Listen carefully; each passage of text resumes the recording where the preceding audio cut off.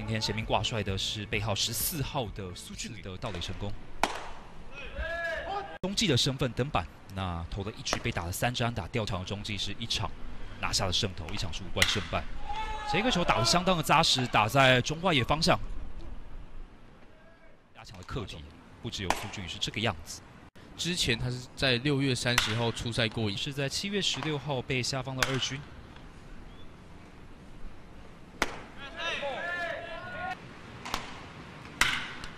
这个球游击方向的滚地球，结果穿出去形成了安打。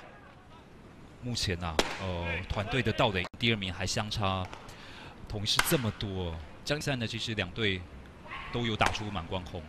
他哦，那这六十三八全垒打里面，呃，刚刚讲到满贯红的提防，现在在一垒上的吴国豪。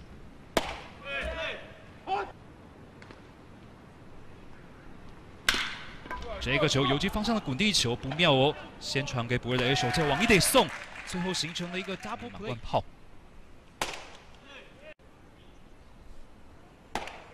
邓志伟本季在目前已经来到了二十一次哦，那代表他的选球有攻击能力也会继续提升，打线磨练的好时机啊。嗯。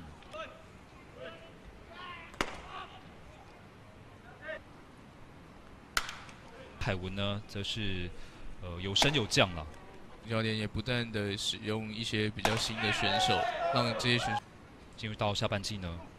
喵喵的一军也是。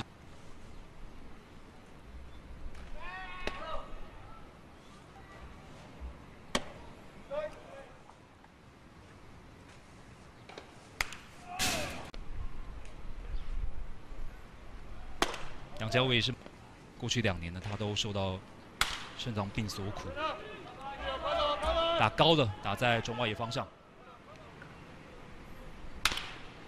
那统一这边呢，则是要来力拼最多的，只遇过一场的联赛，最后就呃不会再就是如果到时候外有一场取消的比赛，那富邦打了四十三场，也遇过六场的联赛，也是最炎热的时刻，也相当的考验他们。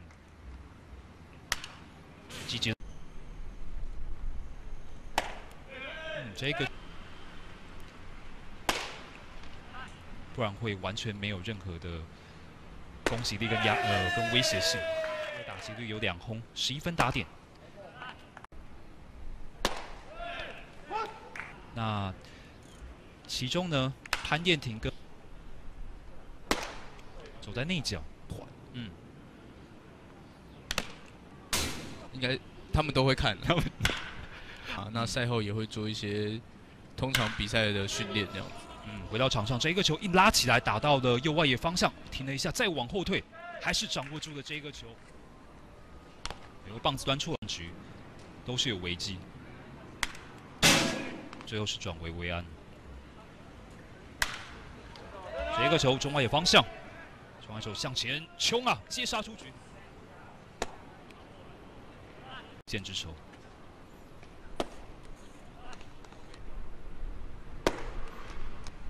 球速完全落后，还是积极的出棒。吴国豪，游击方向的滚地球，考验一下游击手，还是七旬呢？啊，先回到场上好了，来看一下这个球中右之间，结果落地形成安打，是，呃，就是有问题。